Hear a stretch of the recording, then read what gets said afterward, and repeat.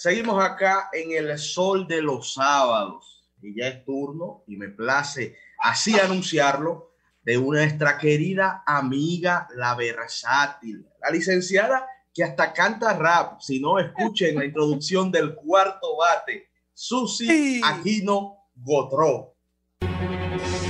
La licenciada, la, la, la, la licenciada denunciando los males, la licenciada, la, la, la la licenciada. Gracias, muchísimas gracias, querido Ernesto, por esa hermosa presentación eh, y por tu amistad, siempre, siempre. Pues agradecer nuevamente a toda la gente que está pendiente de este programa, que se conecta con nosotros todas las mañanas, ya sea por los medios tradicionales o por los medios digitales y a través de todas las plataformas de RCC Media, también de Sol 106.5 y de Telefuturo Canal 23.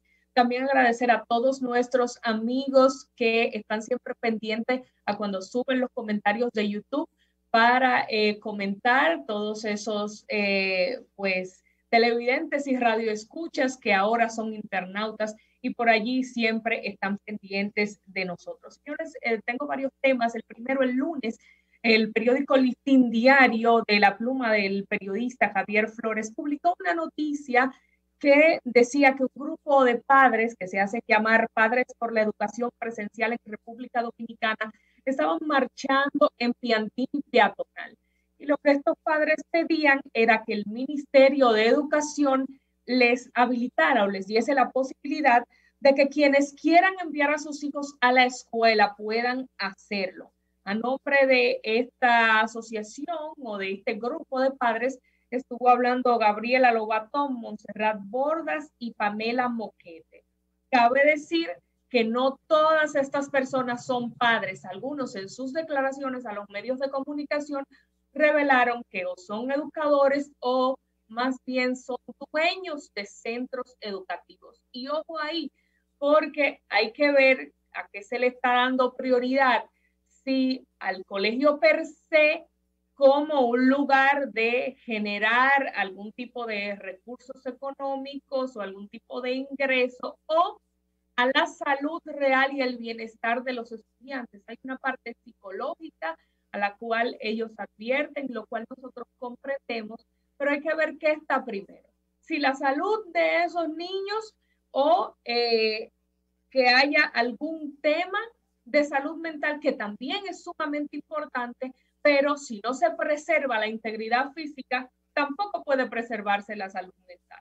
Entonces, podrían haber otros mecanismos para garantizar que estos pequeños tengan algún tipo de interacción más normal en sus casas y demás, sin exponerse a mandarlos a la escuela sin saber si va a haber mecanismos de supervisar que todas estas normativas de prevención y de precaución realmente van a estar en la escuela, con las particularidades que tenemos nosotros los dominicanos que lamentablemente se van a evidenciar en diciembre, aunque uno no quiera que así pase, pero ustedes van a ver eh, lo que va a pasar aquí. Entonces, eh, pienso que esto es lo más importante, preservar la salud de estos niños. Y le pido al ministro de Educación, Roberto Fulcar, que mire con atención este tema y que no ceda ante presiones que lo que parece es que son de índole económico más que por el bienestar de estos estudiantes. No sé quién en su sano juicio y que no tenga ningún tipo de eh, necesidad mayor se atreva realmente a querer mandar sus hijos en una situación de pandemia como la que estamos a los centros educativos cuando pudiera bien tener esta educación. El segundo tema que quiero tratar es la cédula para los menores de edad, la controversial decisión de la Junta Central Electoral bajo eh, la resolución 7420 de 12 años en adelante. Eh, van a poder tener este documento de identidad y esto muestra nuestras debilidades contra el matrimonio infantil y explico por qué. Porque uno piensa de inmediato, aunque luego ya la Junta aclaró, que cuando se le da cédula a un menor es que va a poder votar, que en buen dominicano va a poder gobernarse, es decir, que va a poder ejercer los derechos que ejercen las personas mayores, se ha dicho que es un documento único de identificación para los menores y la misma Junta, cito, dijo que no le da capacidad legal para actuar a nombre propio ni vulnerar, ni vulnera ni hace desaparecer la autoridad parental de los padres sobre los hijos. Pero ¿qué pasa? También hay excepciones para que las menores de 12 años que estén embarazadas tengan esta cédula y puedan declarar sus hijos. Es importante que se declaren estos hijos si ya han llegado al mundo, pero esto apunta que el problema mayor que tenemos en nuestro país es que el matrimonio infantil hay que combatirlo de una manera feroz. No se han hecho los esfuerzos suficientes para que este problema se minimice. Se necesita más educación sexual, se necesita la aprobación del aborto en tres causales, se necesita penalizar de manera más agresiva a los agresores, porque la mayoría de estos casos de embarazo en adolescentes se dan con una adolescente y un mayor de edad. Un mayor de edad que está cometiendo un abuso porque la menor no está en capacidad de decidir sobre su cuerpo ni en capacidad de discernir al respecto. Se da también en muchos casos de incesto. No podemos seguir permitiendo en República Dominicana casos como el de la niña de nueve años que había eh, pues sido violada por un adulto y dio a luz recientemente en un hospital del Gran Santo Domingo, de la provincia Santo Domingo. Y durante el 2019, según datos de la Procuraduría General de la República, se registraron 2.999 casos, casi 3.000 de violación sexual en República Dominicana. Entonces, no me digan que este tema es tan sencillo. Sí, la cédula, la Junta no tiene responsabilidad sobre esta parte del matrimonio infantil, pero esta decisión necesaria revela y desnuda las deficiencias que tenemos en nuestra Quisqueya la Bella.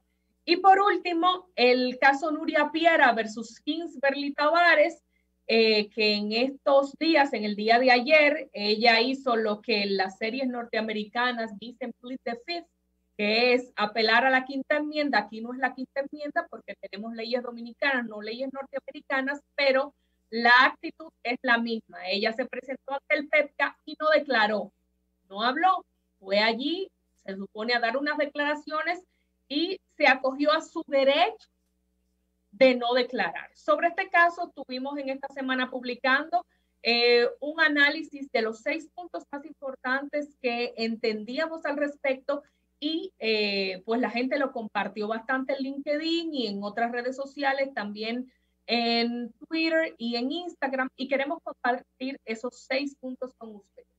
El primer punto destacar, todo analizado desde el punto de vista de la comunicación, que es nuestra área eh, de educación, fue lo que estudiamos. El primer punto es que si no estás preparada para dar una entrevista, siempre puedes mandar un correo con tus respuestas y la documentación anexa. Esto se hace todo el tiempo y el programa de televisión busca la manera de recolectar imágenes de apoyo para sustentar visualmente este reportaje con los datos que usted suministra.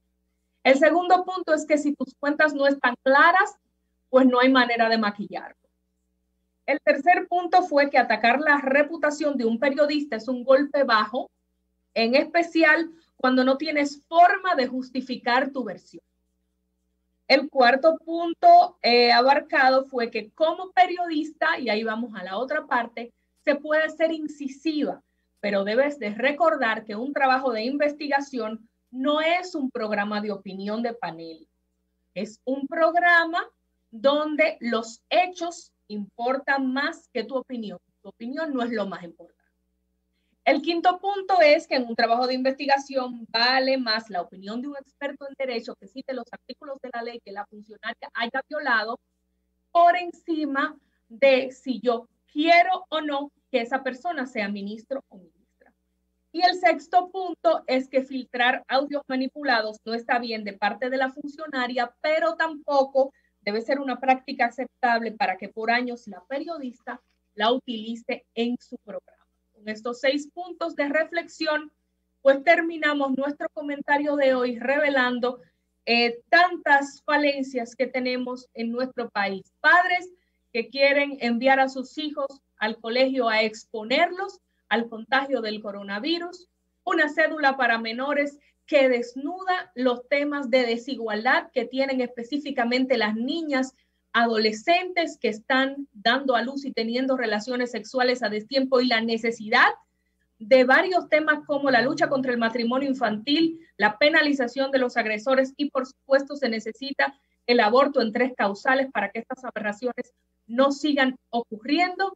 Y el último punto, pues tantas debilidades que tenemos en los manejos de funcionarios ante la opinión pública y el quehacer de sus actividades económicas y de un periodismo que tal vez tiene muy buenas intenciones, ha hecho un gran trabajo por nuestro país, pero a veces es muy pasional.